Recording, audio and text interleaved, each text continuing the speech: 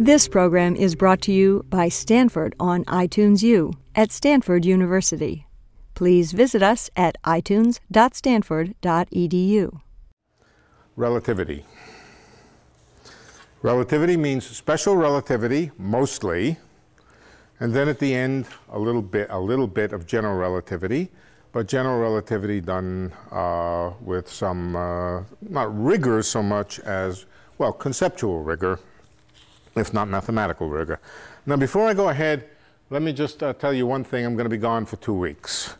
I have to be in Israel. I have to give some lectures uh, to the I don't know, to somebody, uh, uh, some organization of philosophers. And uh, so I will be gone for two weeks. That means, I think, does anybody have a calendar in their head? I'm coming back on the 24th, but I don't know what date that is. Yeah, yeah, yeah, yeah. But we will continue. We will, we will get 10 full classes, even if we have to go uh, into the um, into June a little bit. We'll get 10 full classes, but I will uh, necessarily have to stagger them a bit. Yeah. How about the um, uh, lecture? Oh, yes. That's also on Monday, isn't it? Yes. Yep. So you're gone the next two weeks? Yeah, I'll be, I'll be gone for the next two weeks. And then the one after that is Monday? Well, you know, if there's enough, if there's flexibility, if there's flexibility about the day of the week, we could just, when a thing like that happens, say, well, we will meet on Wednesday instead of on Monday or something like that. Uh, I know so, some people arrange their schedule one way or another and it doesn't fit. Um, but we will have one class before the Hofstadter lecture. And then we can decide what, I think so. I think it's this. No, no, I think there's another one. I think the 20, uh, oh, wait, wait, wait, wait, wait. Well, if nothing else, the Hofstadter lecture, I think, begins at 8. Oh, there's a problem there. Uh, I may have to be uh, available. Uh, blah, blah, blah. Well, one way or another. Hmm. Hmm? I'll be gone the next two Mondays, and then I'll be back. Let's assume we will meet here on the Monday after I get back. That's the 30th. 30th that's the Hofstadter. That's the 30th. That's the Hofstadter lecture. I will be. I will be here. Okay. now I am also the host for the Hofstadter lecture, so this is gonna. This, so you know what it'll probably mean is we'll go to the Hofstadter lecture, but I won't. I'm not going to count that as a regular class uh, if we do that. And we'll see, at that time, we'll see if we can figure out a time to, uh, uh, some way to make adjustments.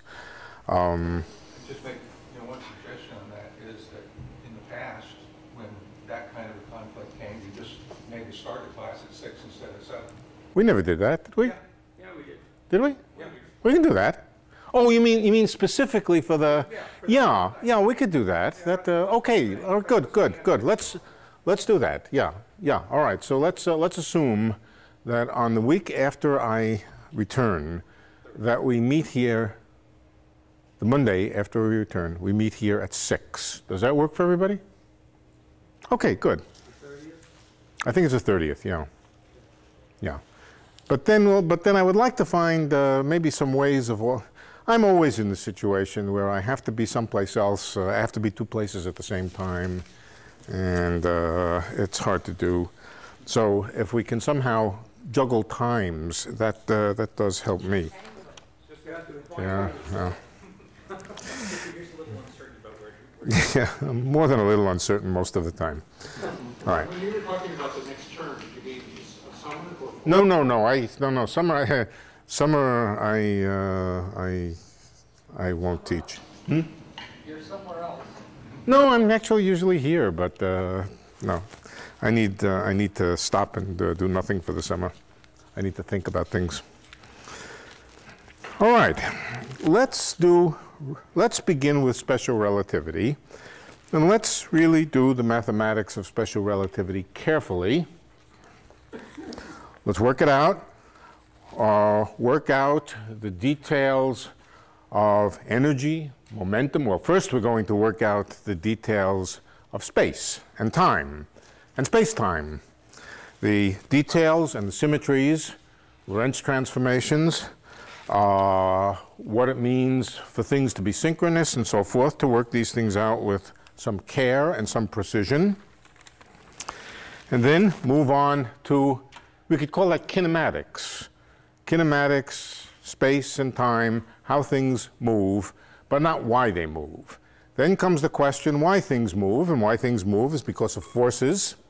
And forces, of course, are the subject of dynamics. And so we will study a little bit about the dynamics of special relativity energy, momentum, force, the analog of Newton's equations, not Newton's gravitational equations, but Newton's equations of motion for special relativity. E equals mc squared and all that stuff, what it means. And I think that should probably take us about five lectures, five or six or something like that. Then I would move on to some general relativity. The general relativity that we'll do will not be incorrect. It will be absolutely correct. But what I will teach less of is the Einstein field equations and more of what happens to particles and objects when they're in a given gravitational field. All right, so what is a gravitational field? Curvature of space-time and that kind of thing without trying to get uh, into the harder, much more difficult subject of solving Einstein's field equations. That's hard. It's hard for me, anyway. So that's what we'll do this quarter. Basic relativity, special, and a bit of general. We'll probably get, we'll probably get to the point where we can uh, talk about black holes a little bit. Maybe also get to the point where we can talk about expansion of the universe, some of the, uh, some of the interesting things that flow out of uh, the special, the general theory of relativity. All right, now um, let's begin. First of all, what do we mean by relativity? Special. Well, what do we mean by relativity in general? What we mean by relativity is the idea that, of course, all of you know, that the laws of physics are independent of the frame of reference in which you study them. The frame of reference, simply for our purposes here, means a state of motion of a set of coordinates. If you like, the way to think about it is to imagine space being filled up with a lattice, an imaginary lattice of meter sticks, so that every point in space is labeled by a uh, x, a y, and a z a set of meter sticks, and at each vertex of the lattice, a clock. And the clock measures time. Now, in Newtonian physics, in Newtonian physics, Newton imagined that time was very, very universal. He imagined God's time. God's time was the same for everybody. Uh, there was no question of what the time was on a particular clock. Clocks were synchronized. It didn't matter how they moved. It didn't matter how you move. It didn't matter how you move with your watch or without your watch. Everybody would agree at every instant, at every place in the world on what the time is, T. That, of course, had to be given up uh, when Einstein moved to special relativity. But the idea of relativity was already there before Einstein, long before Einstein. It basically goes back to Galileo. So let me just remind you what Galilean relativity is, how, it, how and why it failed. Uh, the way I like to think about relativity is I like to imagine, I always like to have a picture in my head uh, that I can uh, think about intuitively. And the picture that I have in my head, in my head is the same one that Einstein uh, thought about. Moving along in a railroad train uh, with in a railroad which is extremely well made. So well made that the tracks are perfectly smooth, so smooth that the train doesn't rattle, it doesn't shake, and it just moves with absolute uniform velocity. Now, what are the laws of physics? Well, my favorite description of the laws of physics in this train is what I like to imagine the laws of juggling. Juggling is, a, is good physics, incidentally. You, to be a good juggler, you have to have a very, very good sense of timing. You have to have a good sense of gravity. You have to have a good sense of a lot of different aspects of physics. Of course, you, don't, you may not consciously be using those, but at least unconsciously, all kinds of physics comes into juggling. So there are some rules. You throw the ball up and you wait a certain amount of time and you catch it and you transfer it and you do whatever it is that you're supposed to do and you call all of those the laws of, uh, the laws of physics or the laws of juggling. Now, it's a fact of nature that in this train which is moving with absolute uniform velocity relative to a stalled train, a train that happens to be at rest on the surface of the Earth, for example, imagine the surface of the Earth, one train moving, one train standing still, the laws of juggling are exactly the same. This, uh, this, in fact, before Galileo, this was something of a surprise. In fact, not a surprise. People didn't uh, understand that they actually imagined, of course, they didn't have trains to think about. But if you would have told them about trains and moving along with a train, the average uh, scientist probably would have thought that when you throw a ball in the air in the train, you probably have to compensate for the motion of the train by, if the train is moving that way, you probably have to move your arm over to the right in order to catch the ball because the train moving will lead to moving out from under the thrown ball. Of course, this is wrong. Uh, the laws of juggling are the same in the stationary train and the moving train, identical, exactly the same. Uh, and that was something that Galileo realized. Galileo was the first to realize it, and Newton spelled it out in great detail in his laws of motion. So let's begin with Galilean, uh, Galilean re relativity. Like all theories of relativity, it's a theory of transformations, transformations of coordinates and transformations of phenomena from one frame of reference to another. Again, a frame of reference means, as I said, a lattice of meter sticks with clocks which have been synchronized, and we'll have to discuss what we mean by synchronized, but clocks which have been synchronized at each corner of the lattice. And now we can imagine having two such lattices. One is moving relative to the other. One is moving relative to the other. In each frame of reference, the clocks have been synchronized in the appropriate way. And so we have to transform information from one frame of reference to another various kinds of information. What is the energy of an object? What is the temperature of an object? Uh, I don't know, any number of different kinds of quantities. We could ask if you know it in one frame of reference, what is it in the other frame of reference? Now, the simplest, uh, the simplest set of quantities has to do with location, location in space and location in time. The things which are recorded by the meter sticks and the clocks. So how do we transform from one frame of reference to another? Here we have a frame of reference. Uh, let's first of all draw a frame of reference. The first thing to do when you start a relativity problem is to draw a picture. And the picture is a picture of space-time. Time vertically, as always, and space horizontally. And at least in the beginning, uh, we're mainly going to be interested in problems involving motion along one particular axis. So let's call it the x-axis. The y and z directions, for the moment, will be rather passive. They won't play any great role for a while. They'll come into things. And so every point in space and time, uh, or every point on the blackboard, stands for a place in space and a time in time. So it's called space-time, naturally enough. Okay. Now let's, and if, if I wanted to draw the meter sticks, let's just imagine drawing the meter sticks.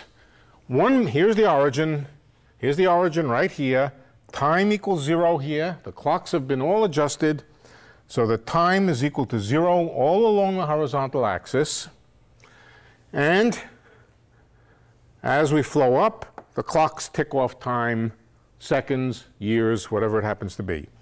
All right, now, if we move down the line a little bit, we come to the end of the first meter stick. So here's the end of the first meter stick. Its trajectory is a trajectory in space-time. The second meter stick is over here.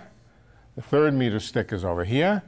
And the sequence of meter sticks laid out along the horizontal axis, as time goes on, define a series of stripes like this, which represents locations in space, if you like. This is x equals 0, x equals 1. Needless to say, we can also go backward to x equals minus 1, x equals minus 2, and so forth. Uh, there's no reason to stop at x equals 0 x equals 1, x equals 2, x equals 3, x equals 4, and so forth. Now, the clocks tick. And so a clock which reads, is there, there is no time that we call zero, is there? We never hear of talking about time zero. I mean, you know, an ordinary clock. Time zero is usually what we call 12 midnight, I guess. But anyway, let's use the term time t equals zero. t equals zero is over here. T equals one, one what? one second or whatever, two seconds, three seconds, four seconds, five seconds.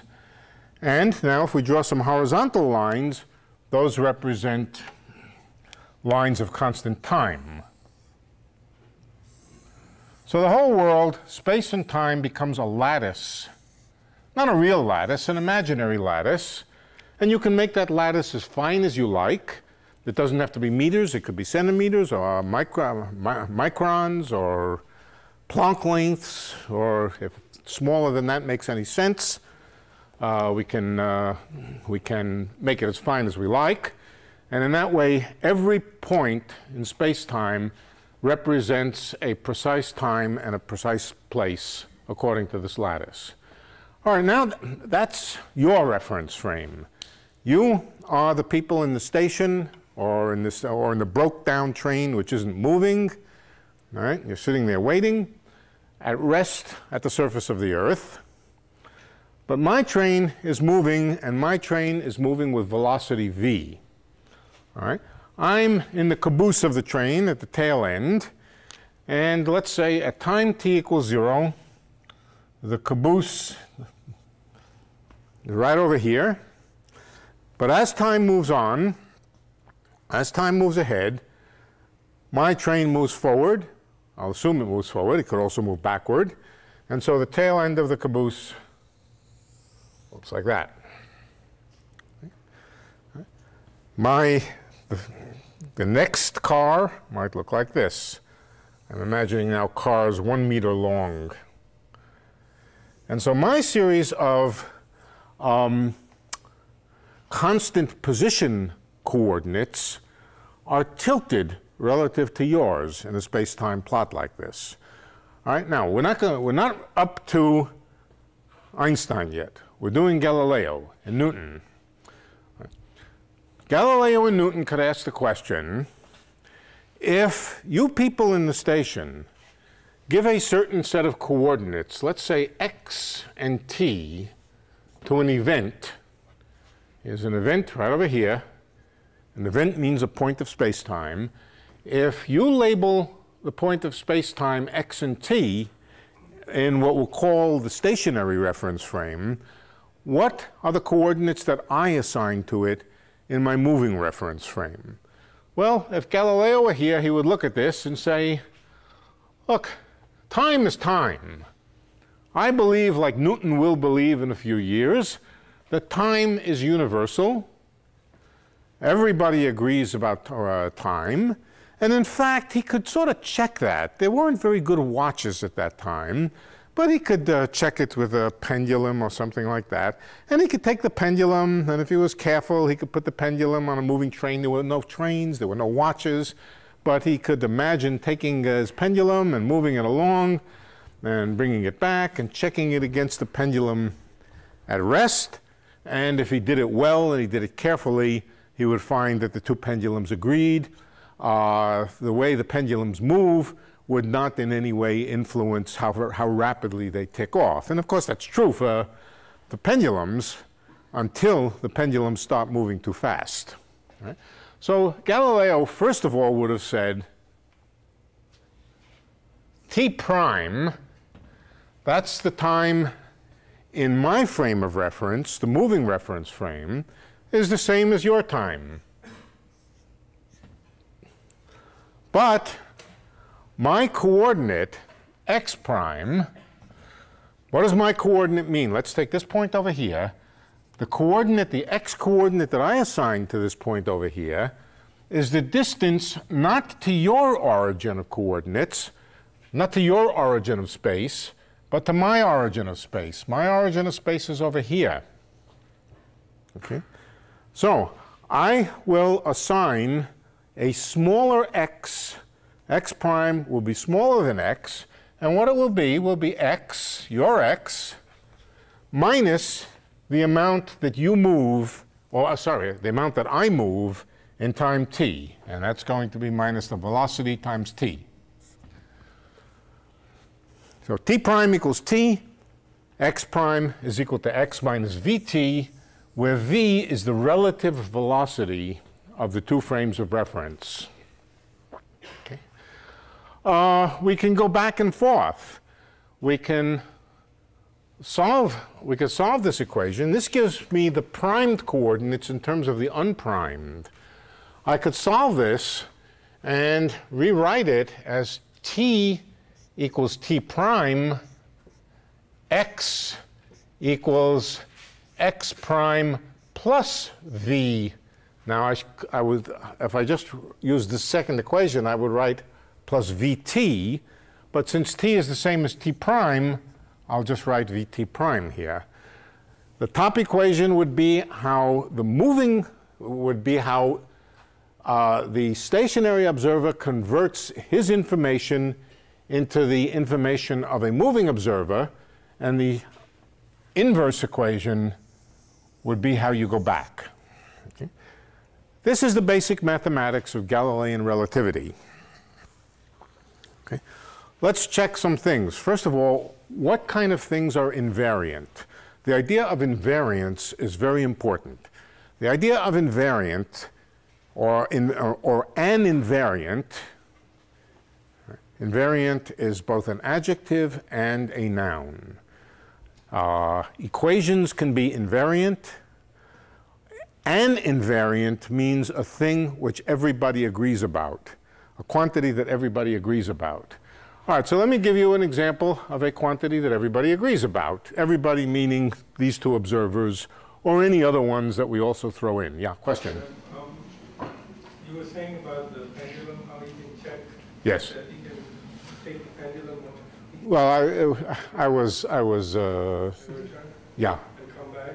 yeah. Um, how does he know that um, when he moves the pendulum away, that um, he's speeding it up and then it's kind of uh, he's decelerating to bring it back? How does he know that? that Of course, the answer is he doesn't. But if you do it with an ordinary watch, with good, no, I mean, how Galileo would have known it, uh, I think Galileo just guessed it. How you would do it is you would take your high quality Rolex watch and you would just go and do it. One person would stay in a seat and the other person would march around the room a few hundred times and then come back and check their watches. Now, the answer, of course, that we know because of hindsight and because we're living in the 21st century and Einstein was 100 years ago, is there will be a tiny discrepancy. But that discrepancy is so small that uh, for ordinary purposes, for ordinary daily experience, we would simply say the rate at which clocks tick off time doesn't depend on their motion. And that's an experimental fact. Experimental fact in the sense that, uh, that if we actually did it with ordinary clocks, it would work. It would work to very high precision. Of course, at some level, it fails, but that's what special relativity is about. I guess ignoring the special relativity thing, I guess I have a problem that you're bringing the clock back to the same spot. Yeah. And minusing whatever, Oh, you think it might have sped up as you went one way and, uh, come back, it it slowed down. yeah, well, that, that might have happened. Uh, that would mean that there was basically a difference between left motion and right motion. So we could try the same experiment going the other way. Well, maybe the same thing would happen, but then we could, we, if east and west, we would try it north and south. We might also take my watch and go around you in circles for a long period of time and do all kinds of experiments. Or just go With- one direction and use a telescope. Use all kinds of things, all kinds of ways. We try all sorts of obvious things, and they all work. And they all work, right? Um, you don't need a telescope. Use a telephone to, to communicate uh, information back and forth. Uh, send light signals back and forth to check our watches, and so forth, and it would work very well. It would work very well until we start to move too fast. Okay, then we then uh, then it breaks down. All right, but uh, the point is that Galilean relativity was based on a guess. It was frankly based on a guess, and the mathematical translation of the guess is these equations. Right. Now there are some obvious invariants. For example, here's something that's invariant. At an instant of time, look at the distance between two events. Two events which are synchronous or simultaneous. Simultaneous being used to mean at the same time. Take two events at the same time. The distance between them will be invariant. Why is that? Let's take the two events. Let's take the two events. Let's call them x1 at time t1 and x2 at also at the same time t. Let's not even bother labeling the time. At the same time. These are two events at the same time. And the distance between them is simply x2 minus x1. And that we can call distance. What about the primed coordinates? The primed coordinates are x prime 1 is equal to x1 minus vt.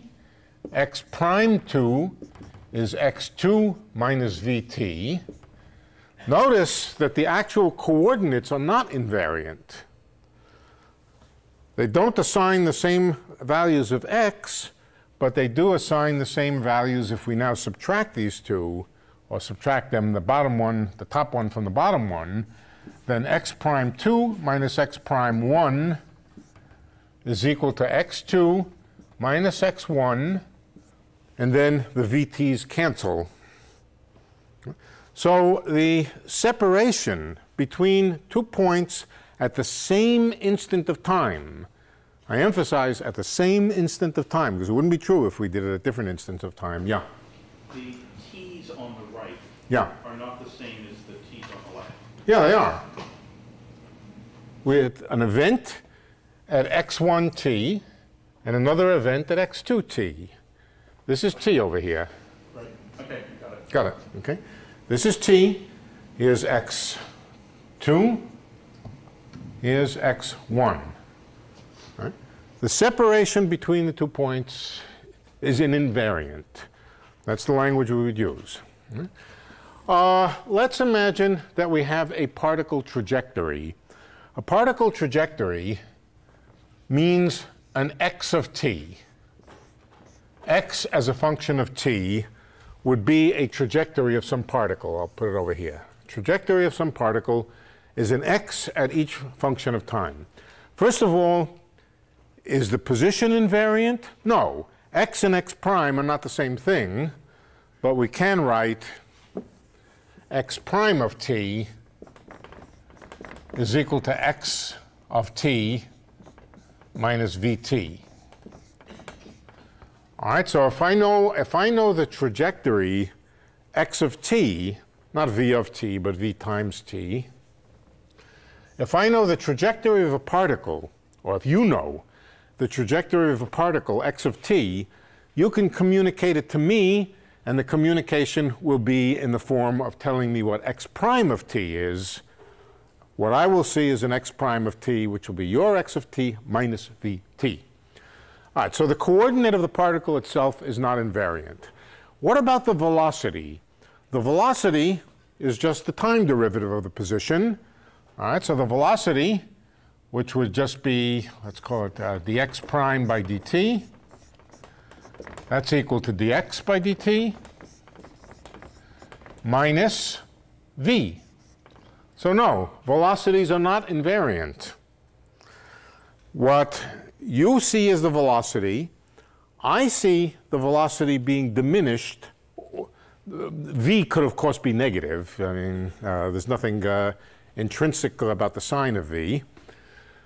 But um, I see a velocity which is shifted by amount v. That's obvious, of course. I'm moving along, you shoot an arrow.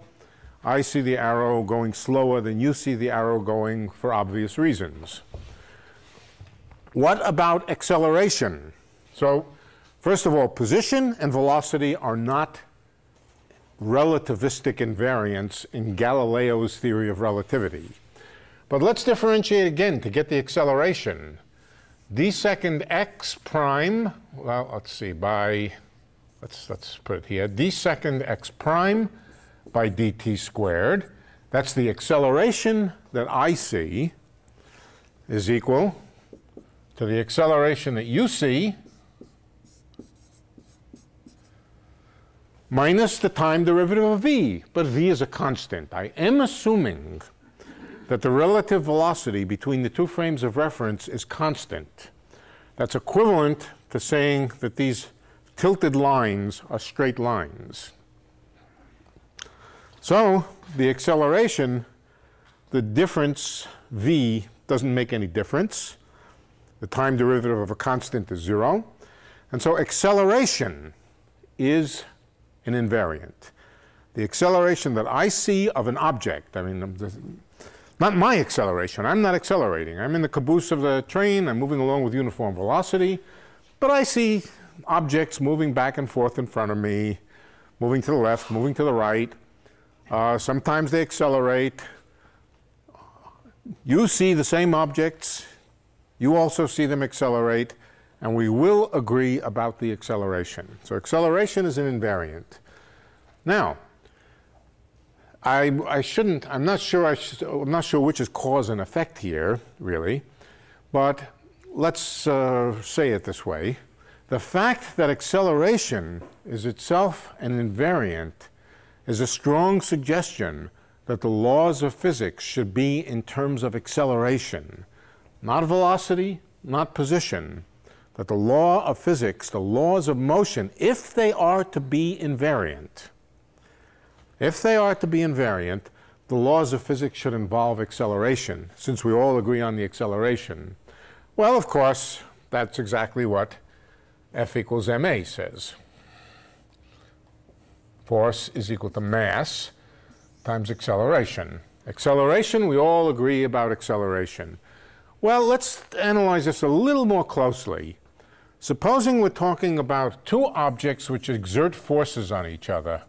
And for the moment, everything is taking place along the x-axis. We, we usually imagine, correctly for most cases, that the force between two objects only depends on the distance between them. All right? Only depends on the distance between them. The force between two objects, uh, gravitational force, electrostatic force, only depends on the distance between them the coordinates of the particles themselves are not invariant, but the distance between them is invariant. That's what we, well, where did we write it? Up on the top here. Everybody agrees about the distance. So the distance is an invariant. And if the force only depends on the distance, it says that the force between two objects is an invariant meaning to say that everybody agrees about it. So if you, in your frame, were to measure the force between these two objects, which are moving somehow, and I, in my frame, whizzing by it, measure the force, according to Newton and Galileo and everybody who came after them up to Einstein, force is a invariant because the distance between two objects is invariant. That leaves only one more symbol in this equation, mass. In order for Newton's theory to make any sense, it was necessary that mass is an invariant. If all the terms in the equation are invariant, then so must be the mass.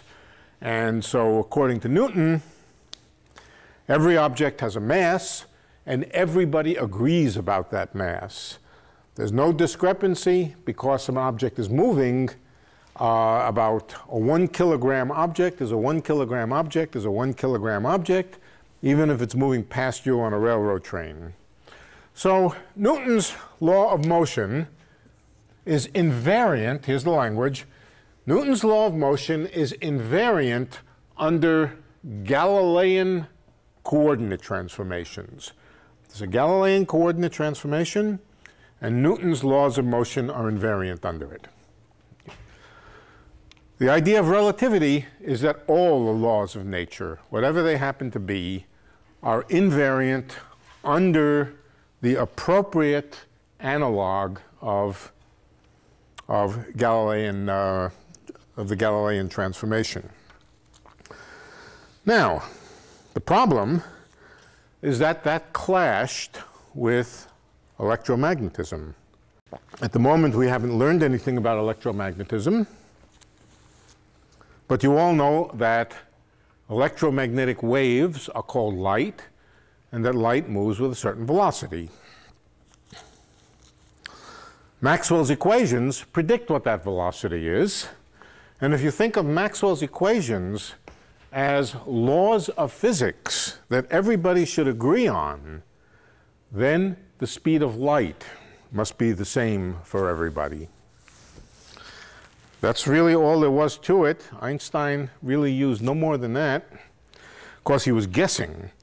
He was guessing that Maxwell's equations were the same in every reference frame. In other words, he was guessing that Maxwell's equations, which were, were laws of nature, which were so compelling that they would have to be the same in every reference frame.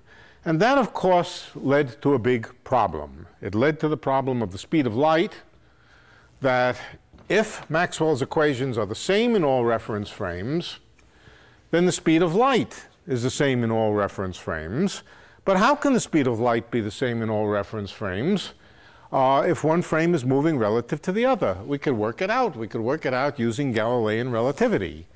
Uh, let's, uh, let's take a light ray. A light ray, a little blip, a little blip of a light ray moving along. It moves along with x equals c times t. That's what, where c is the speed of light. Okay? Um, that's what Maxwell's equations said. Well, Galileo would then have had to say, let's ask how that light ray appears to move from the point of view of the moving reference frame. And that will be x prime, which is equal to x minus vt. So far, this is just, a, just the uh, Galilean representation of the transformation. That is equal to ct, x is equal to ct minus vt. And he would have just said, well, that's the same thing as saying c minus v t. So Galileo would have had no choice but to say in the moving reference frame, the speed of light differs from the speed of light in the stationary reference frame by the relative velocity. Okay. Uh, that, of course, made good intuitive sense. It is the way sound would work. It is the way water waves would work. If water waves move, what's a, what's a typical velocity of a water wave? I don't know, uh, a couple of meters a second or something like that. How much? A few for small ones. Yeah, yeah, yeah, yeah, meters per second. Let's say one meter per second, but I'm flying over at a half a meter per second, when I'm flying over the wave, then I see the wave moving at a half a meter per second. So it's completely unreasonable to, uh, to expect that water waves have a universal velocity that all observers see. Now, most physicists, of course, at the turn of the, or at the end of the 19th century, simply came to the conclusion that, well, in the 1850s, 1860s, when Maxwell was, was active, simply came to the conclusion that uh, some frames of reference are better than other frames of reference, that there is no relativity, uh, that there exists a frame of reference, God's frame of reference. Don't tell the ombudsman I said that. or do tell the ombudsman. God's frame of reference where Maxwell's equations are correct. In other frames of reference, Maxwell's equations must be somewhat different because in other frames of reference, obviously light moves with a different velocity. And so, as you well know, various physicists tried to study the dependence of the velocity of light on the state of motion of an observer. And systematically, they found no dependence. We won't go through the uh, various experiments. Uh, several different kinds of experiments to try to detect the fact that a moving observer would see a speed of light which would depend on the state of motion. And as you know, no such effect was ever discovered. Uh, the result being that physicists had no choice but to go and review the basic uh, ideas that went into this definition. Now, Einstein himself claimed he never even knew about the experiments. I'm inclined to believe him. I mean, you know, they didn't call Einstein Einstein for nothing. I mean, he. he, he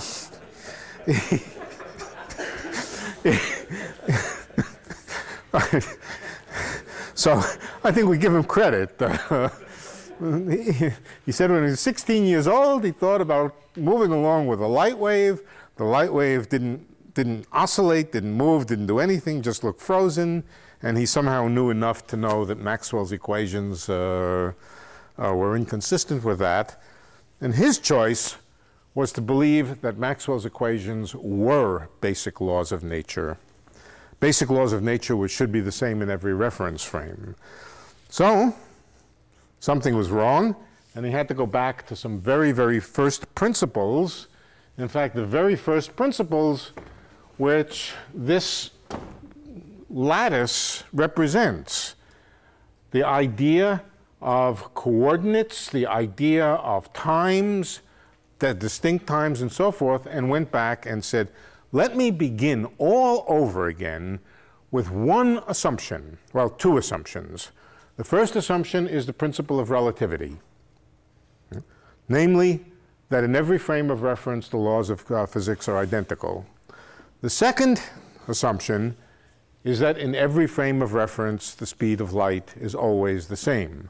Let me take those as postulates and see what I can derive.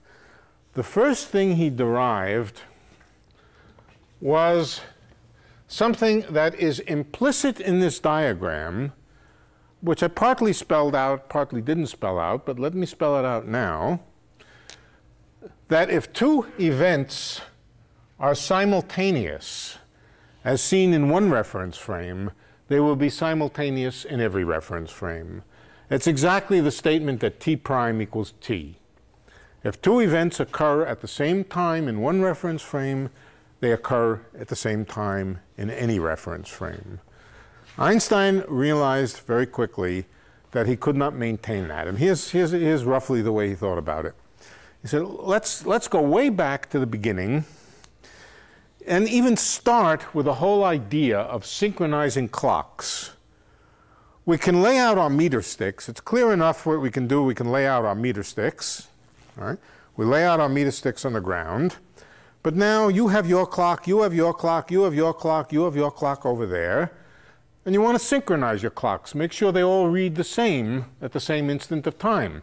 What does that mean? Well, there's various ways you could try to check whether your clocks were, uh, were synchronized. But Einstein decided to use light.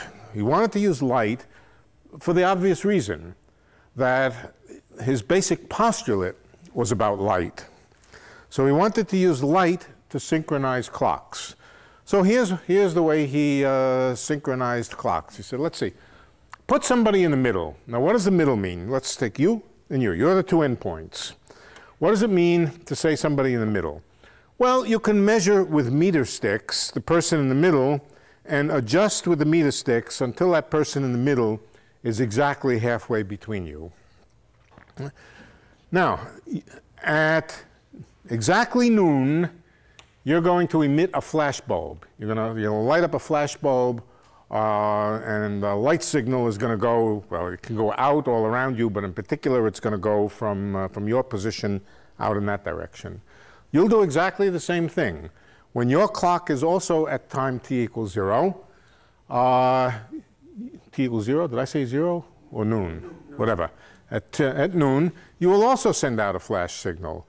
If the person who is in the middle sees the flashes simultaneously, in other words, if the left flash and the right flash go right by him simultaneously, then we will agree that your clocks are synchronized. If he sees your light, your flash before your flash, then he says you you better readjust your clock a little bit. Go back, try it again, set your clock back a little bit, and keep doing it until the person in the middle uh, sees the flashes of light instantaneously the same. Now, everybody in the room does the same thing with respect to everybody else until everybody's clocks are synchronized uh, by the same, by exactly the same definition.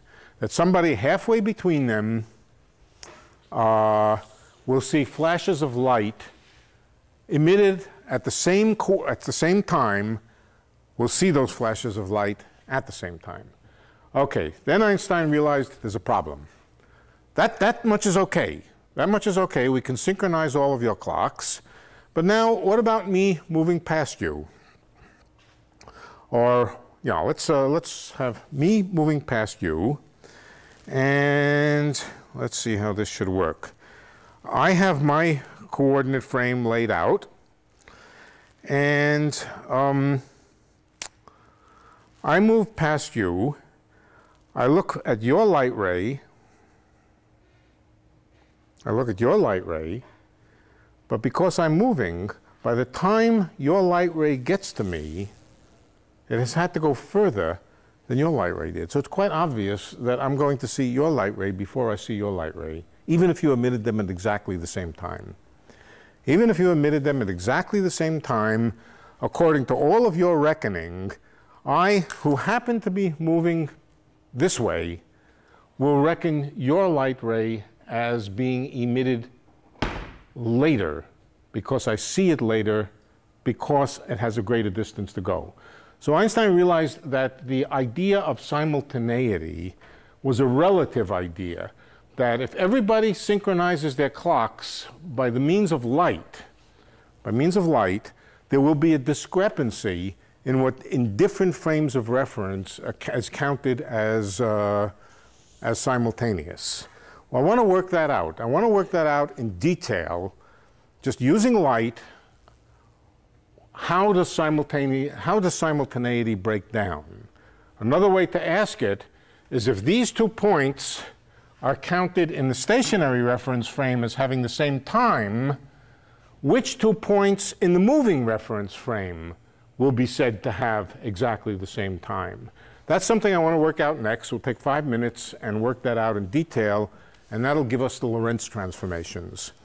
Lorentz transformations which implicitly have in them that simultaneity is a relative concept. So that will be our next challenge, to replace this equation by one that's consistent with the idea that light travels with the same velocity in all frames.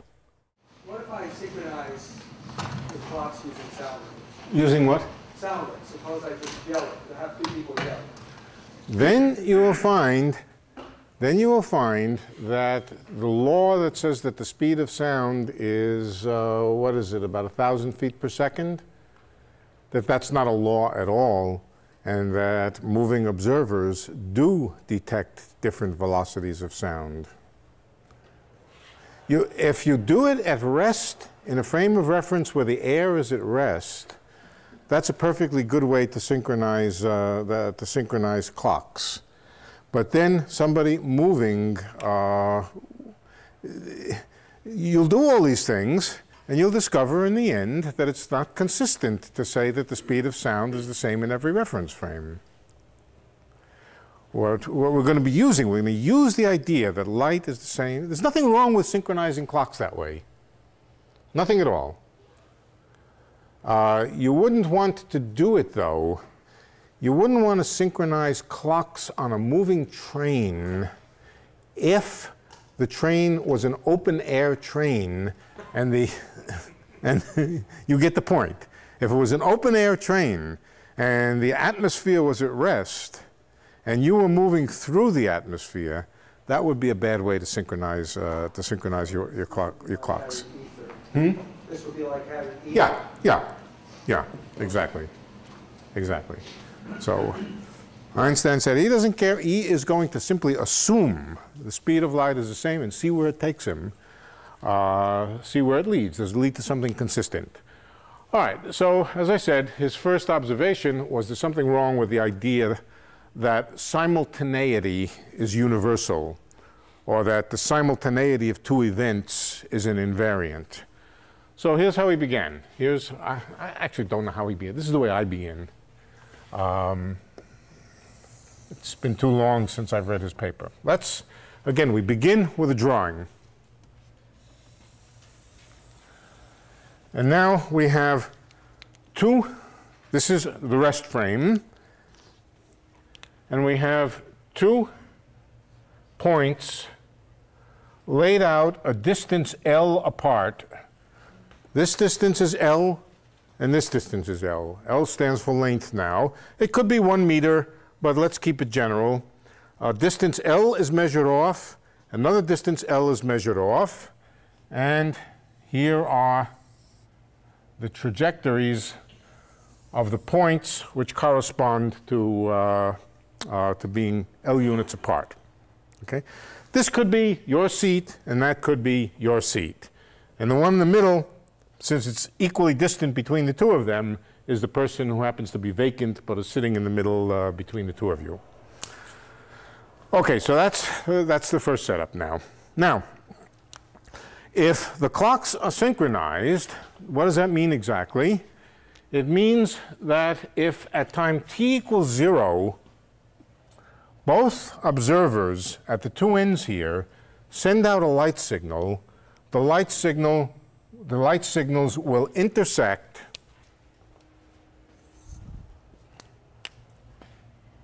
at the same place like this. Oops, I missed. That a light signal from this side, if it's sent out at the same instant, in other words, synchronous, in this frame of reference, with a light signal that's sent out from this instant, that the two light signals will cross the intermediate observer here at exactly the same time. Now, light moves, of course, very fast. That means that this drawing is a bit, um, well, it's a little funny because light moving so fast, it would mean that light rays are practically horizontal. They move an enormous distance in a short amount of time. But we can fix that. We can fix that by working in units in which the speed of light is equal to 1. Let's do that. Later on, we'll put back the speed of light, but for the moment, let's set the speed of light equal to 1. How do you do that? You work in units of space, which are adjusted the right way so that in one second of time, uh, light goes one unit of distance. Light a light second or years and light years, or whatever, uh, whatever you like. And so the vertical axis and the horizontal axis here are measured in units in which the speed of light is equal to 1. If the speed of light is equal to 1, then a light ray satisfies x equals t, not ct, but just t, and that would be a 45 degree line. That's a light ray moving to the right. A light ray moving to the right satisfies, a light ray moving to the right from the origin over here satisfies x equals t. What if it's a light ray moving to the right from some other position? Well, then it satisfies x equals t plus some constant, namely the offset. So if it's a light ray any light ray moving to the right satisfies x equal t plus something. C equals what? So- Thank you. D. And what about a light ray moving to the left? That's x equals minus t, or minus t plus some other constant, plus d prime, I don't know. So these are, these are the motions of light rays, and they correspond to 45 degree angles. 45 degree angles, a slope of 1. A slope of 1 corresponds to a velocity of the speed of light. Things moving slower than the speed of light move, move more toward the vertical. If it made sense to think about things moving faster than the speed of light, which it doesn't, they would be moving on trajectories which were more horizontal. So these two, these two clocks are synchronized because if at the same instant of time, or another way of saying it, is these two points here must be at the same instant of time in this reference frame, in the stationary reference frame, because the light rays will intersect the intermediate observer here right at the same instant of time. Now let's draw in a second observer. A second observer, in other words, a second reference frame, and the second reference frame is moving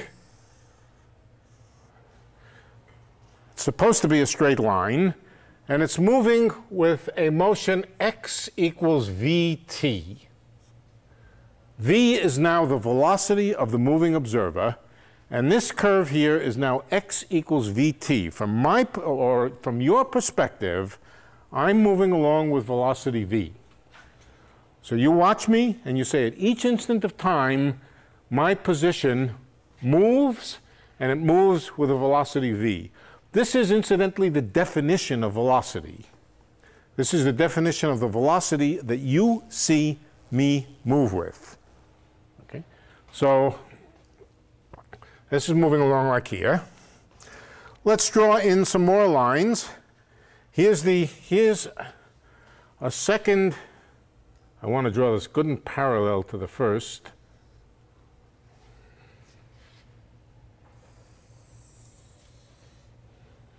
Does that look parallel? Close enough. This one's also pretty parallel, like that. Okay. What do we want to do next? Ah. Okay. Now let's look at the moving frame of reference. Again, this guy is halfway between these two. Right? He started out over here halfway between these two. They're moving with uniform velocity. He stays halfway between these two. But notice that at his location, the two light rays do not arrive at his position at the same time. At his location, one of the light rays arrives much later than the other one. So according to this moving observer, he must conclude that these two points were not synchronous. The light rays emitted from here and here could not have been synchronous from his point of view, because from his point of view, they should have arrived at, his, at the intermediate position at the same time. In fact, he can reverse the logic. He can say, where along this light ray does it correspond? Let's see, how to say this right. Yeah. Um, let's forget this light ray for a minute. And let's follow this one until it actually hits the observer. This is the person in the middle. Where would a light ray have to come from along this trajectory in order that the guy in the middle here con- would conclude that the two light rays were emitted simultaneously? It's easy. Just trace a backward light ray, also at 45 degrees, to that point. Trace a light ray backward along 45 degrees to a point over here. And now in the moving frame of reference, if a light ray is emitted over here and a light ray is emitted over here, this is a bit of an exaggeration. I think this line is too, uh, too shallow. Let's maybe go back a little more. Eh, Hit exactly the same place. Well, that's because the other one's not really 45. Yeah. Um, if a light ray were emitted from here to the left, and a light ray were emitted from here to the right, they would hit the central observer over here at exactly the same time. So the moving observer will conclude that this point and this point are synchronous, whereas the stationary observer concludes that this point and this point are synchronous. It's obvious from the beginning that the idea of synchronous cannot be the same in the two frames. But can we do it quantitatively? Can we really figure out quantitatively exactly where this point lies? And can we figure out all the points that the moving observer will call synchronous with the origin over here? And that's not too hard. It just requires a little bit of simple algebra. So a little bit of geometry and algebra. Let's work it out. The first thing to do the first thing to do is to make some simple equations for all the lines that are drawn here. All right? We need some simple, we want to be quantitative. I want to write some equations for the various lines. This line is x equal vt. What is this line over here? This line is x, let's write it in, x equals vt plus L. Why? Because it's shifted over by distance L. So for, its x is Vt plus L. This is x means from the stationary reference frame. The stationary reference frame sees the black lines shifted up by distance L. So it's x equals Vt plus L. What about this one? Vt plus 2L. That's x equals Vt plus 2L. We want to locate this point. The object is to locate this point right over here. Why? Because it's the one that the moving observer says is synchronous with the origin. So we'd like to find out where it is. What's the equation for this line? x equals t. That equation is x equals t. Let's first locate this point. This point is at the intersection of two lines that we know. One of them is x equals t, and the other is x equals vt plus L. Let's write those two equations and find out where those two lines intersect. So one of them is just x equals t, and the other one is x equals vt plus L. All right, that's easy. Wherever you see x, put t, and we get t equals vt plus L, or 1 minus v times t equals L. One more step, t equals L divided by 1 minus v. Do I have that right? Let's check it. Yes. That's this point right over here. It occurs in the rest frame at a time which is v, which is L divided by 1 minus v. What about x? What about the x of that point? It's equal to t. All along this line, the same thing. x equals L over 1 minus v. That's this point over here. Let's call it point capital A. This is point capital A. Now, now that we know where point capital A is, let's see if we can trace a line backward until it hits here and figure out where this point is. That's our goal, to find out where this point is. All right, what about this line? What do we know about this line? We know about this line that it's a backward going light ray. So it's of the form x minus t is equal to a constant. Oh, sorry, x equals minus t plus a constant. The backward going light ray is x equals minus t plus something. Let me just give that something. I don't want to call it d prime. I'm going to call it b. Or another way to write it is that x plus t equals b. We don't know what b is yet.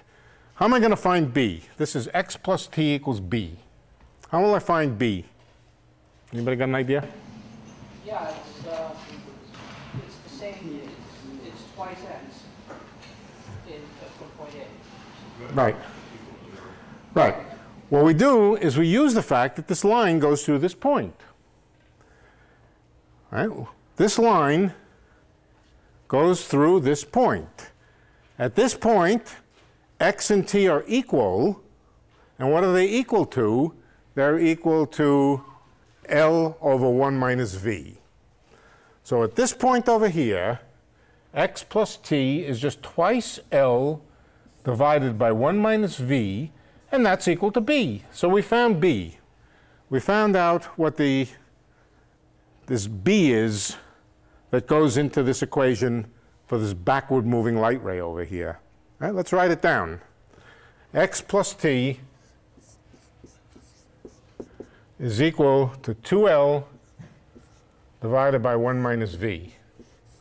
So now I know this line, but I want to find its intersection with this one.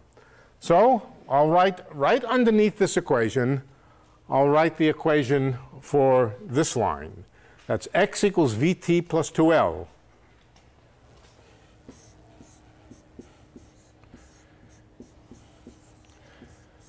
All right, I now have two equations that tell me where the intersection point is. Let's see, shall we solve them? A little bit of a nuisance to solve them, but let's do it. Uh, okay, no, it's not hard at all. Let's subtract the two equations. That will get rid of x for us. If I subtract the two equations, that will get rid of x. That'll give me on the left here t. And on the right-hand side, I will have equals 2L over 1 minus V minus, looks like, am I doing this right? Minus VT minus 2L? Oh, no, plus 2L. No, minus 2L.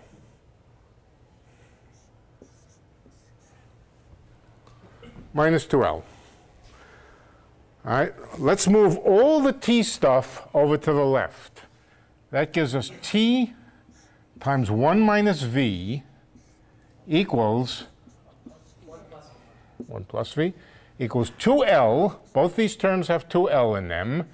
And then one of them has 1 over 1 minus v, and the other one just has minus 1. 2L is common to both of them. It's out here. And it's just L over, oh, sorry, it's just 1 over 1 minus v minus 1. Okay, what's 1 over 1 minus v minus 1?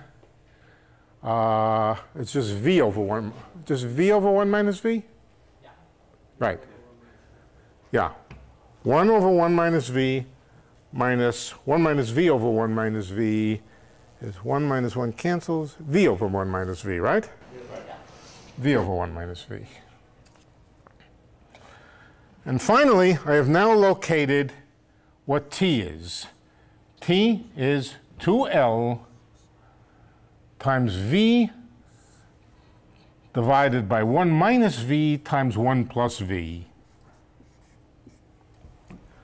1 minus v times 1 plus v is just 1 minus v squared.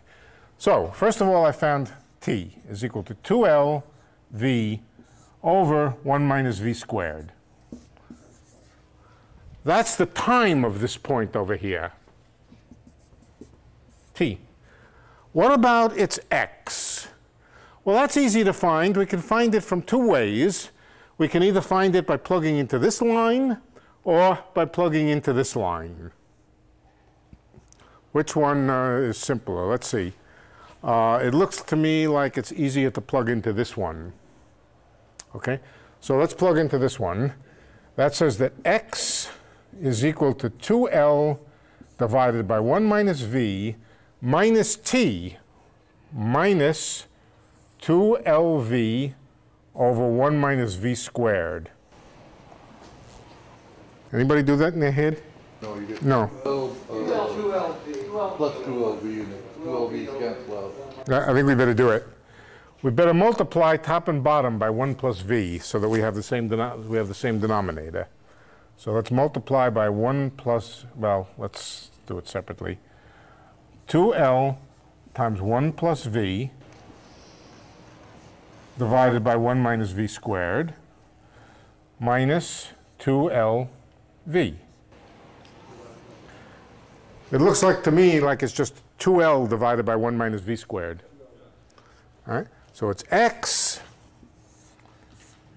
equals 2l over 1 minus v squared.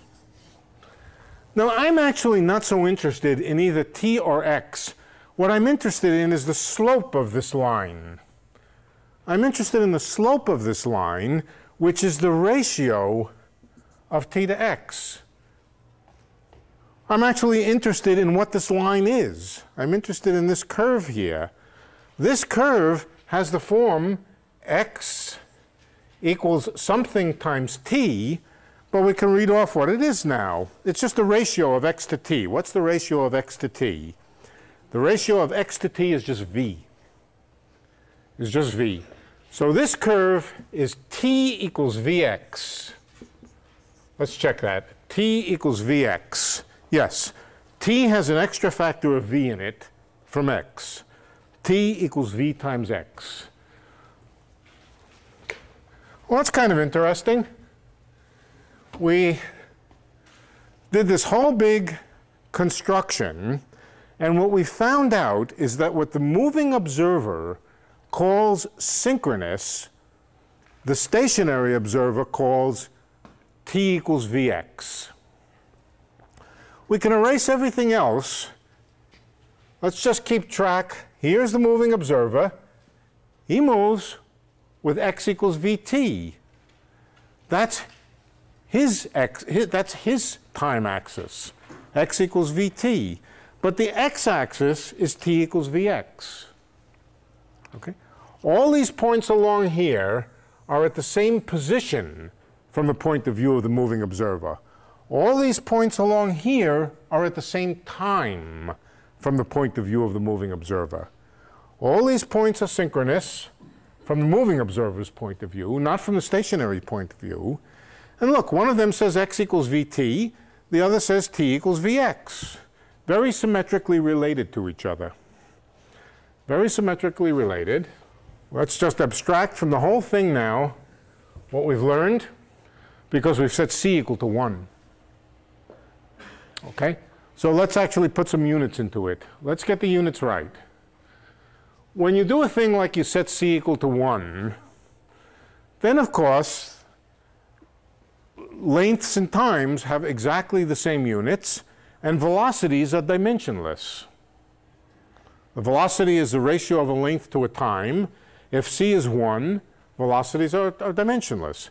But let's try to get some dimensions back into it and restore some uh, correct dimensions to it. All we have to do is multiply by the appropriate powers of the speed of light in order to get the dimensions to be consistent. This is already consistent. x is equal to a velocity, which is a length over time, times a time. But this one does not look consistent. What do we have to do to it to make it consistent? The answer is, I think, divided by the square of the speed of light. When the speed of light is set equal to 1, this curve is t equals vx. There's a unique way to restore the c's so that you get the same answer when c is equal to 1, but so that dimensions are restored. Let's check the dimensions. This is a time. We have a time equals. Now, a velocity is a length over a time. An x is a length. And in the denominator, we have a length squared over a time squared.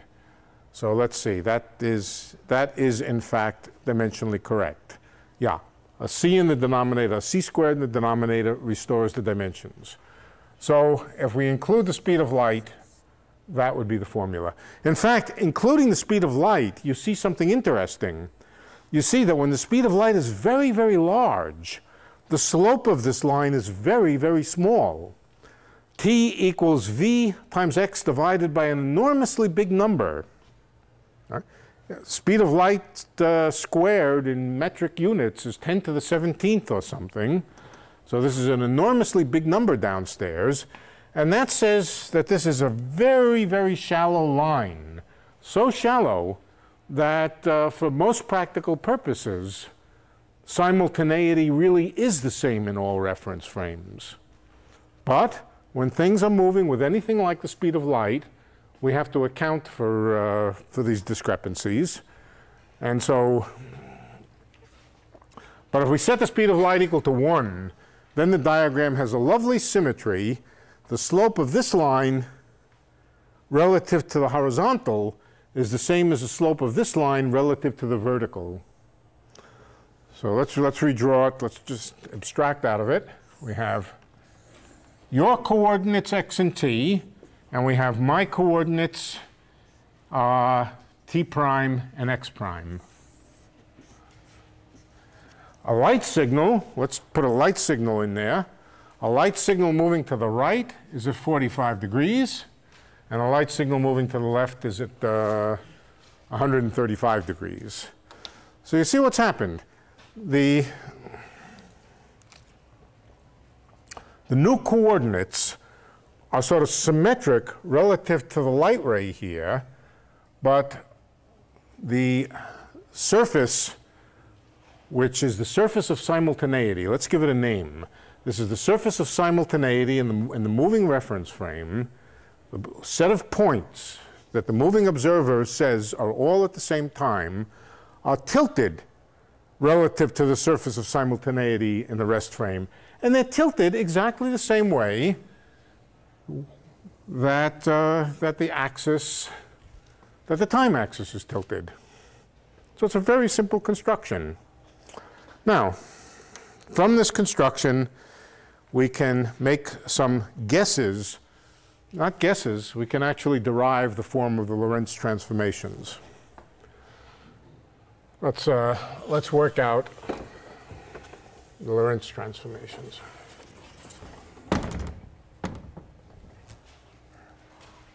We know a good deal about the relation between xt and x prime and t prime. We know a good deal, but we don't know everything. So we need some more, we need some more input. Let's uh, go back to Galileo. Galileo said x prime is equal to x minus vt. All this says, all this says is that when x is equal to vt, x prime is equal to 0. But that should be true. That should continue to be true. It should be continue, continue to be true that, as far as you're concerned, my position satisfies x equals vt. So when x is equal to vt, you're talking about my origin of coordinates. So it must still be true, not that x prime is equal to x minus vt, but that when x is equal to vt, x prime must be 0. My center of coordinates is what you call x equals vt. That continues to be true.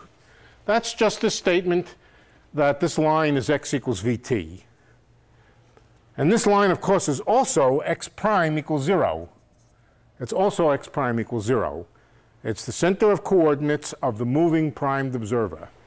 So this equation may be wrong, but it must be correct that when x equals vt, x prime is equal to 0. How could this be wrong, but still be true that when x is equal to vt, x prime is equal to 0? There's only one way. That there could be some factor in here. Let's call it f. And that factor could depend on velocity. That's a possibility. This is still consistent with the statement that when x is equal to vt, x prime is equal to 0, but it's not quite the same as saying x prime is equal to x minus vt. It's a little different than what Galileo would have written, depending on what f of v is here. Right? So um, this is about all you can do with the equation, with Galileo's first equation, that still allows x prime to be 0 when x is equal to vt, to have some numerical multiple there. And that numerical multiple could, in principle, depend on the velocity. Right? Uh, and as I said, all this is telling us here is that x equals vt is the same as x prime equals 0. Now, let's look at this second curve. The second curve over here is t prime equals 0. Why is it t prime equals 0? Because all along this curve here, the primed observer, the moving observer, says that the time is the same. All right, if we just choose it at this point to be 0 here, then t prime is equal to 0 all along this curve. So what it says, whatever the equation for t prime is, it must have the form t minus vx, possibly times some other function of velocity. What does this mean? What, why am I saying this? All this says is that when t equals vx, that's this curve, t prime is equal to 0. When t equals vx, t prime is equal to 0. This is about all that you could have and still be consistent with saying that this is the axis x prime equals 0, and this is the axis t prime is equal to 0. So Einstein wrote this down. But one more step. This is not quite enough because we don't know what this f and this g are. They could be anything. They could be anything.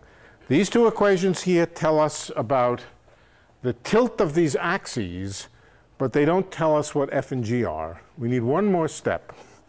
I'll tell you what the one more step is.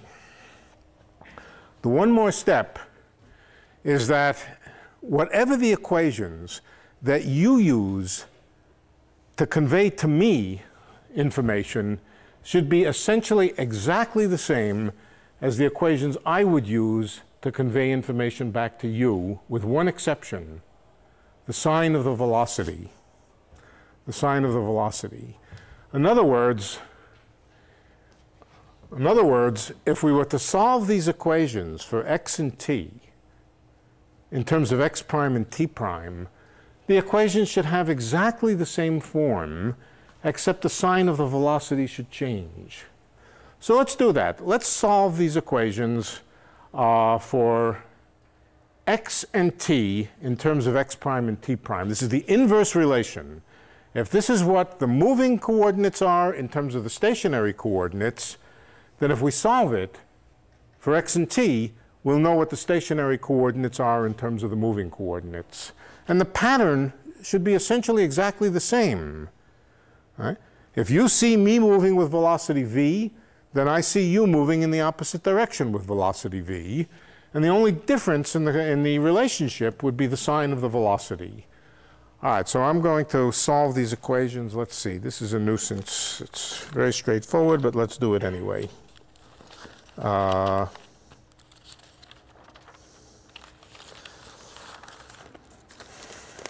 ah, no. Let's prove something first.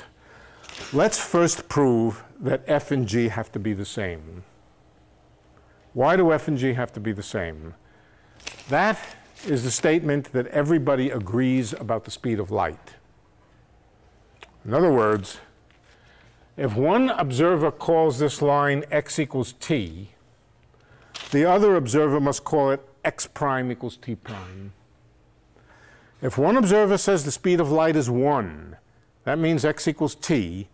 The other observer must also say that the speed of light is 1. That was Einstein's basic principle that we all agree about the speed of light. Hmm?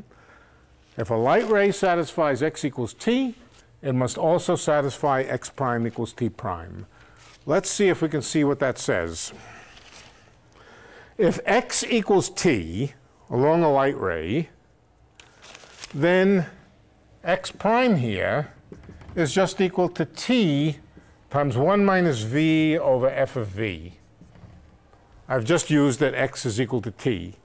On the other hand, t prime is equal to t times 1 minus v over g of v. I've again just used that x is equal to t along the light ray. So along the light ray, x prime is given by this, t prime is given by this, but it must also be true that x prime must equal t prime. Otherwise, the speed of light would not be the same in the two frames. Well, if x prime is, must be equal to t prime, it means f and g have to be the same function. No choice about it. So Einstein's assumption that the speed of light is the same in all reference frames required that f and g are the same. So we've learned a little more. Again, we've used the idea of simultaneity as being defined by light rays coming from the left and the right and hooking up at the same instant of time for the observer halfway in between. That told us what this curve was. All right? And now we've used the statement that the speed of light is the same in all reference frames. In other words, if x equals t along here, then x prime must equal t prime, and that tells us that this function is the same as this function. Not quite everything we need to know. We still don't know what f of v is. f of v in the denominator, good. And f is just some unknown function of v that maybe we'll find some reason to set equal to something particular. There must be some rule which tells us what it is.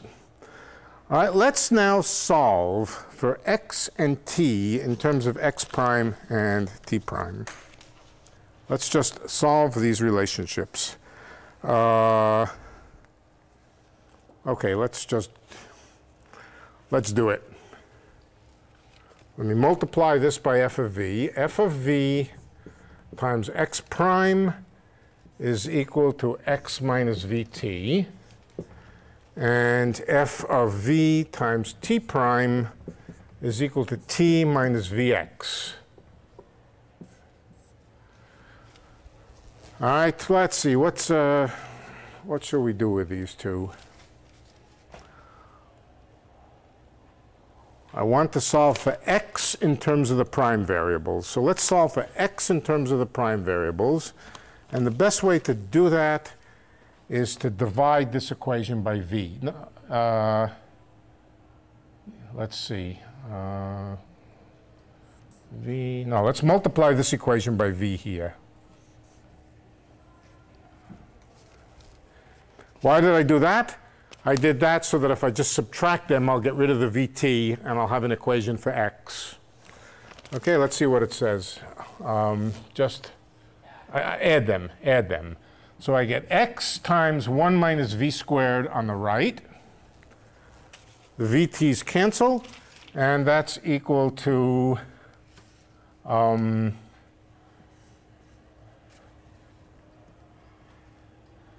f of v x prime plus v f of v t prime. Let's, let me just uh, write that a little nicer. f of v times, I think it was just um, X prime. Plus VT. x prime plus v t prime. And now divide it by 1 minus v squared.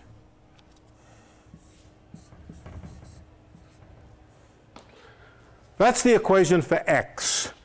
There's another equation for t, which is very similar. The equation for t looks very similar. It looks like f of v divided by 1 minus v squared times t prime plus v x prime. That's the inverse relationship. If you go from x to t, x to x prime through one set of equations, then the way that you go back is with the, this set of equations. Well, you would expect, if there is nice symmetry between the two frames of reference, that the two sets of equations should look very parallel to each other. In fact, x and t should be related to x prime and t prime, in exactly the same way that x prime and t, t prime are related to x and t, with one exception, with the exception that the sign of the velocity should be opposite. Well, that doesn't look so bad. Here we have x prime is x minus vt times something. Here we have x is equal to x prime plus vt prime times something. If the somethings were the same, if f of v over 1 minus v squared were the same as 1 over v, the relationship would be completely reciprocal. The relationship would be completely reciprocal. Same here. The relation between the primed and unprimed variables, when you invert it, simply involves changing the sign of the velocity from t minus vx to t prime plus vx. That will be true if f of v divided by 1 minus v squared is the same as 1 over f of v. So far, I haven't told you what f of v is. Now I'm telling you, it's the thing which satisfies this equation. Or another way to write it is that f of v is equal to the square root of 1 minus v squared. Multiply by f of v on both sides. That squares this. Multiply by 1 minus v squared, 1 minus v squared, and take the square root.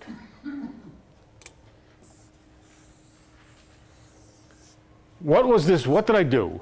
What I did was simply to make sure that the relation between the primed and the unprimed coordinates were reciprocal.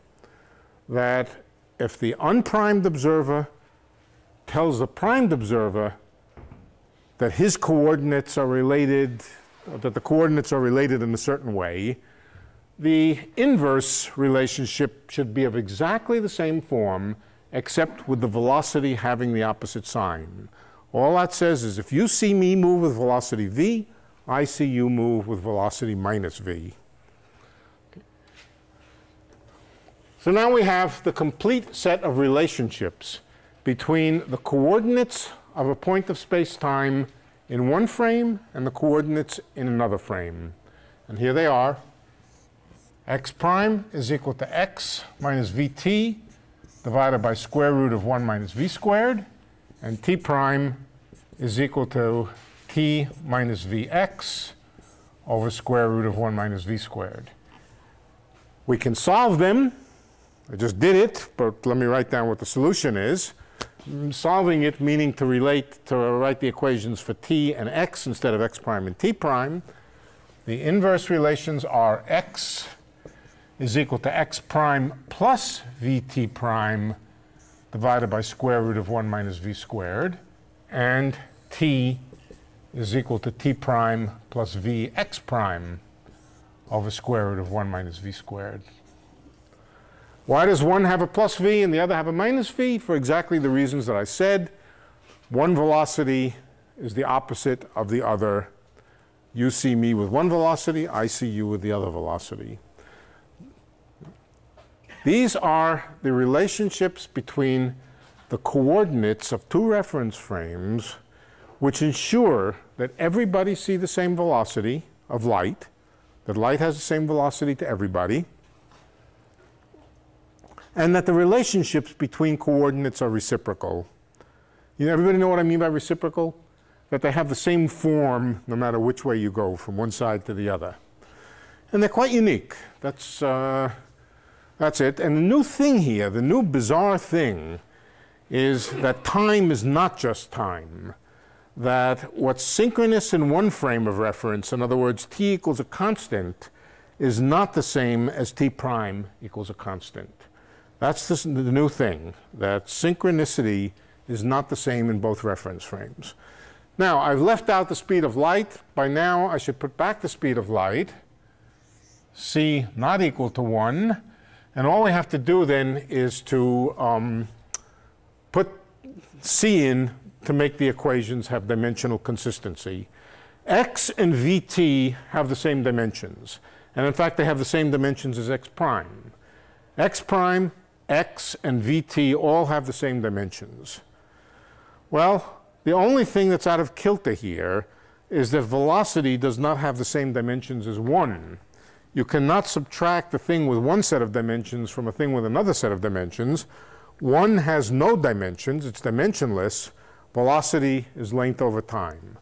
All we have to do to fix this is divide v squared by c squared. 1 minus v squared over c squared.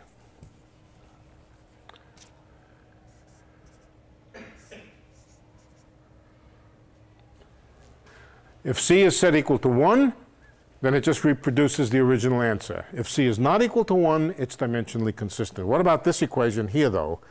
This one is a little bit tougher. Uh, t and vx do not have the same units.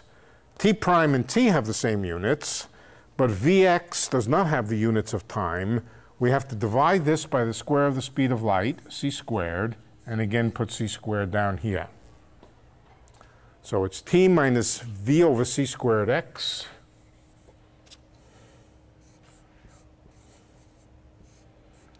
divided by square root of 1 minus v squared over c squared. Now it's interesting to look at it. What happens when the speed of light gets huge? What, the speed of light in ordinary units is huge. That means that this is negligible in the usual situations. Usual situations where the speed of light is 10 to the 8th or 3 times 10 to the 8th meters per second. The square of the speed of light is um, 3 times 3 is 9, uh, 10 times 10 to the 17th. This is a huge number in the denominator. So for almost all circumstances, this is negligible. Also, v squared over c squared is also negligible. The velocity of an ordinary object is very much smaller than the speed of light. So this practically reads t prime is equal to t, Galileo's equation. It only begins to fail when the velocity gets up near the speed of light. So only when the speed, the relative velocities of the observers are near the speed of light does this differ appreciably from Galileo's t prime equals t. Same thing here. When the velocity is much smaller than c, you can ignore this. And it's just good old x prime is equal to x minus vt. It's only when velocities are near the speed of light that the corrections from relativity become important. Uh, but they're especially important for light, which does move with the speed of light. Yeah, let's see if we can see from these equations just directly uh, that a light ray moves with the same velocity in either reference frame. Well, we already did it, but let's just do it again. Um, yeah, let's do it here. If x is equal to t, a light ray, a light ray satisfies x equals t. If x equals t, if x equals t, this just becomes 1 minus v times t divided by square root of 1 minus v squared over c squared. That's x prime. What about t prime? t prime, again, x is equal to t. t prime is t minus, I think I'm making a mistake. I can't both have x equal t and have the speed of light not equal to 1. I think I want x equals ct here. Hmm? Yeah, x equals ct. So this is c minus v c minus vt over the square root of 1 minus v squared over c squared. And this is t prime.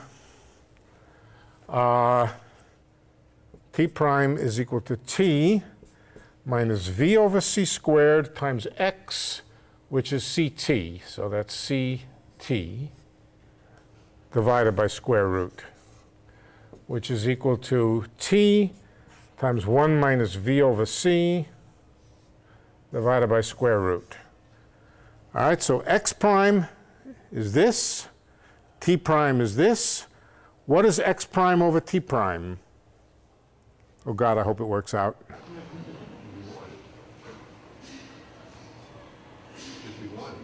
No, it should be c. It should be c. Let's multiply and divide by c here. c minus v over c. Okay, yeah, it is. c minus v times t over square root of 1 minus v squared. But we have an extra factor of c downstairs.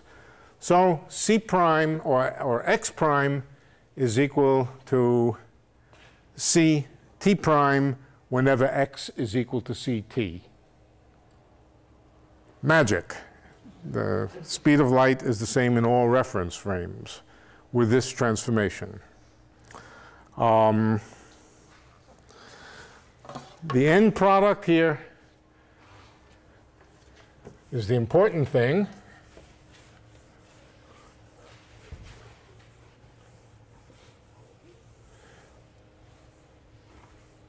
You can now test this out. Oh, what about, okay, if x equals ct, we've just proved that x prime is equal to ct prime.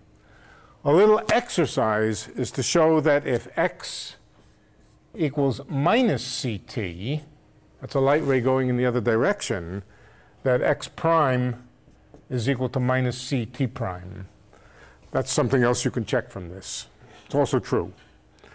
So that means a light ray going in either direction will move with the speed of light in either of the two frames. Okay? What's special about these transformations? Namely, that light moves with the same velocity in either frame, and the relationship between the two uh, sets of coordinates is reciprocal, has exactly the same form, except with the velocity having changed sign. That's what's special about them. And these, of course, are the Lorentz transformations. These were not the way that Lorentz derived them. In fact, I don't even know that Lorentz did derive them. Uh,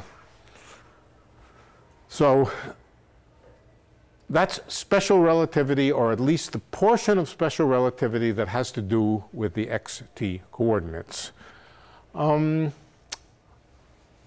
I think we're about finished now what I was going to do, which we will do next time, is to derive the contraction of lengths, the, the dilation of time, and some various uh, special relativity effects, uh, dilation of time being uh, the most interesting one. And then move on to more about the kinematics of special relativity, what proper time is, what momentum is, what energy is, and so forth. Any questions thus far about what we've done up to now? And our next class is at six o'clock on the Six fifth. o'clock, six o'clock, yeah. Any questions about the physics, though? Yeah, Uh, Going back to your initial, when we first jumped in, you said if you were moving by the gentleman in the middle at the time that the two flash, two flash were Yeah. at the same time. If you were in the middle, when the two flashes got to the middle, you'd see them at the same time. right. But you see this one is having traveled farther than this one. Is that correct? If you're zipping by the, Yeah, what you're saying, okay. Let's, the, the thing to do is to draw a picture. You're saying, forget this guy over here. Let's talk about somebody else who happens to pass through this point over here. He's moving, but he sees the two flashes of light at the same instant of time, right? That's what you're talking about. But he's not midway between the two observers. He doesn't satisfy the criterion that he's midway between the two observers. he sees this one as having traveled farther Yeah. Right. Right. So there's no reason for him over here to say these two flashes were at the same instant. He sees the light get to him at the same instant, but he's not midway between them. So he, again, he will not call this point simultaneously. This is the point which is midway between them, and this is the test point for deciding simultaneity from the moving frame. They, they'll get to them at the same time. Yeah. People say they, they were emitted at different times. Right, right, right, right. Because after all, this one is further away from him than that one. Right. This is a nice. This is a nice construction to go through. It's not very hard. All you do is you take x equals t, which is the light ray. You say it passes through the point x equals vt plus L, and then work your way backward with a backward light moving, uh, like uh, a backward light ray until it hits the point x equals vt plus 2L, and that tells you exactly where this point is. It tells you what counts as simultaneous in the moving reference frame. That's the key, or at least that's half the key. That's half the key to the Lorentz transformation. The other half is the statement that the relationships between the two frames should be symmetrical, apart from the change of sign of velocity. Those are the two key ingredients that Einstein used. Uh, in one form or another, these were the equations, these were the principles that he used, and no other, uh, to get to this point. Okay, so if we're finished, we'll move on next time.